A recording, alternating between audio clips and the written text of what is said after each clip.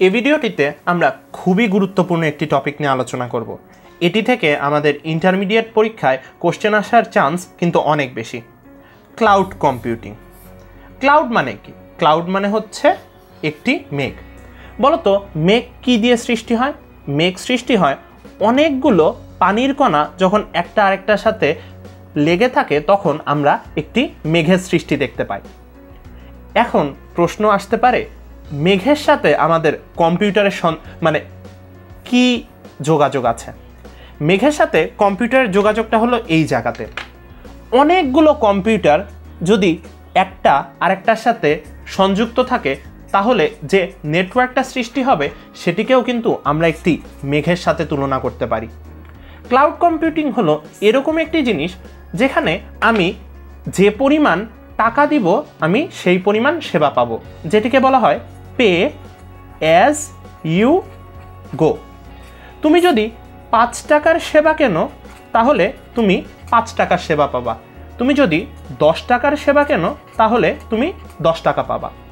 Cloud computing জিনিসটা কি? আর একটু ভালোভাবে আমরা যদি বুঝতে চাই, তাহলে আমরা বলতে পারি, ধরো আমার একটি কম্পিউটার আছে। আমি কম্পিউটারে সারা রাত জেগে কাজ করলাম। আমার পুরো স্কুলের যে কিংবা কলেজের যে অ্যাসাইনমেন্ট আছে আমি সেটি করে রাখলাম। এখন আমি এই অ্যাসাইনমেন্টকে ইন্টারনেটের মাধ্যমে একটা জায়গায় সংরক্ষণ করলাম। যে জায়গাটি আমার নিজের না, কিংবা এই জায়গাটিতে ডাটাটি কীভাবে সংরক্ষিত আছে সেটিও আমি জানি না। আমি ইন্টারনেটের মাধ্যমে কোনো একটি জায়গায় ডাটাটি সংরক্ষণ করে রাখলাম।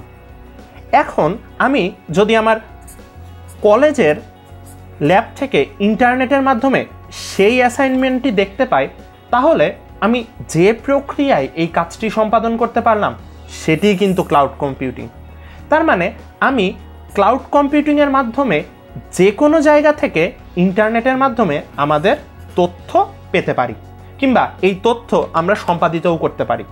কিন্তু আমাদের এটা জানার দরকার নাই যে ডাটাটি কীভাবে সংরক্ষিত আছে, কিংবা ডাটাটি কীভাবে সৃষ্টি হলো। এরপরে আমরা এখানে একটি পিরামিড দেখতে পাচ্ছি। কিংবা একটি ত্রিভুজ বলতে পারো। ত্রিভুজের দেখা যাক তিনটি অংশ রয়েছে। একটি হচ্ছে সাস, পাস, ইয়াস। সাস মানে হচ্ছে সফটওয়্যার অ্যাজ ইনফ্রাস্ট্রাকচার। পাস মানে হচ্ছে প্ল্যাটফর্ম অ্যাজ ইনফ্রাস্ট্রাকচার। ইয়াস মানে হচ্ছে ইনফ্রাস্ট্রাকচার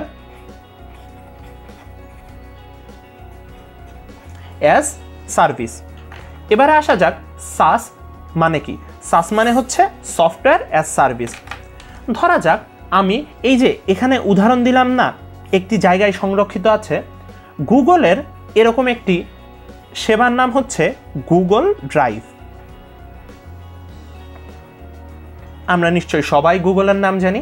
গুগলের এই একটি সেবার নাম হচ্ছে গুগল ড্রাইভ, যেখানে আমি একটি নির্দিষ্ট পরিমাণ ডাটা সংরক্ষণ করতে পারি এবং আমি যদি একটি নির্দিষ্ট পরিমাণ ডাটার বেশি রাখতে চাই, তাহলে আমাদের টাকা দিতে হবে। এখন আমাদের কম্পিউটার থেকে কী উপায়ে গুগল ড্রাইভে ডাটাটি সংরক্ষিত আছে, তা কিন্তু আমরা জানি না, কিংবা আমাদের জানারও দরকার নেই। এই সেবাটি হচ্ছে একটি সফটওয়্যারের মাধ্যমে হচ্ছে, এজন্য এটিকে বলা হয় সফটওয়্যার অ্যাজ সার্ভিস এবার আসা যাক প্ল্যাটফর্ম অ্যাজ সার্ভিস মানে কি। প্ল্যাটফর্ম অ্যাজ সার্ভিস হচ্ছে, আমি এই সফটওয়্যারটি তৈরি করতে যে সুযোগ সুবিধা লাগবে, এটি আমি যদি টাকার বিনিময়ে কিনি, সেটি হবে এই প্ল্যাটফর্ম ধরা যাক আমি কম্পিউটারে উইন্ডোজের মাধ্যমে এটি চিন্তা করছি, বানাবো। তাহলে এই উইন্ডোজটা আমি যদি কোথাও ভাড়া নেই, তাহলে এটি হচ্ছে, হবে প্ল্যাটফর্ম অ্যাজ সার্ভিস। এবার আমাদের শেষ যে উপকরণ, সেটিতে আসা যাক, ইনফ্রাস্ট্রাকচার। ইনফ্রাস্ট্রাকচারটা হচ্ছে আমার কি কি হার্ডওয়্যার লাগবে, সেটা। যেমন এই উইন্ডোজটা চালাতে আমাদের কি কম্পিউটার লাগে, আমাদের মনিটর লাগে এগুলো আমরা যদি টাকার বিনিময়ে ভাড়া নিতে পারি, যেটা একটি নির্দিষ্ট সময় পর্যন্ত চলবে এবং আমরা যেখান থেকে খুশি সেখান থেকে ব্যবহার করতে পারব, তাহলে এই কম্পিউটার, হার্ডওয়্যার কিংবা যে কিবোর্ডগুলো রয়েছে, সেগুলোকে বলা হয় ক্লাউড কম্পিউটিং। এবার আমরা যদি পুরো ব্যাপারটি একবারে দেখি, তাহলে আমরা বলতে পারি। ধরা যাক আমার একটি অফিস রয়েছে। অফিসে আমার দশটা থেকে পাঁচটা পর্যন্ত কাজ চলে। এখন দশটা থেকে পাঁচটা পর্যন্ত তো আমার, ধরা যাক, পঞ্চাশটি কম্পিউটার দরকার। আমি এটার জন্য কি সারাক্ষণই পঞ্চাশটা কম্পিউটার কিনে রাখব? নাকি আমি এরকম একটি ব্যবস্থা সৃষ্টি করব যেখানে শুধুমাত্র দশটা থেকে পাঁচটা পর্যন্ত এই পঞ্চাশটি কম্পিউটার ব্যবহার করা যায়? আমি যদি কোনো প্রতিষ্ঠানকে পে করি, তাহলে তারা আমাদের সার্ভিস দিবে।